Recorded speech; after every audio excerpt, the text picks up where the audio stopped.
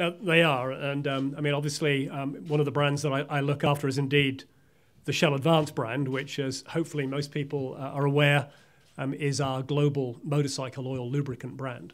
Uh, and indeed, I mean, the, the East for us is a, a, a very, very important market. Um, and so we're particularly pleased to be able to you know, act as title sponsor um, for the, the Shell Advance uh, Asia Talent Cup, as well as, as Carmelo said, this year, the uh, the Malaysia uh, Grand Prix as well.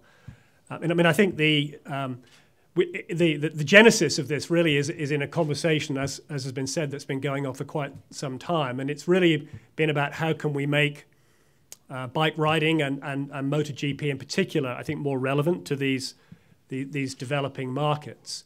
And so, I mean, I, would like to congratulate Dorna for you know coming up with the idea of of the Asia Talent Cup uh, which we see as a great opportunity to, to build uh, local talent. Yes, and I think you know we've seen that there's nothing like having local talent um, to drive local interest as well.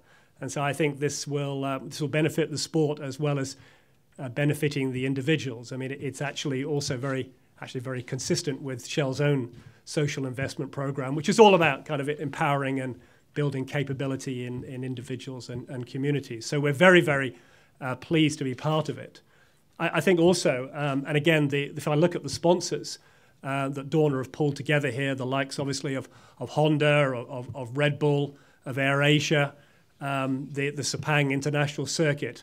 Um, I mean, I think one can be very assured that this is going to be a very professionally run uh, as well as a very exciting uh, series. And so we, we really look forward to the first season in, in 2014.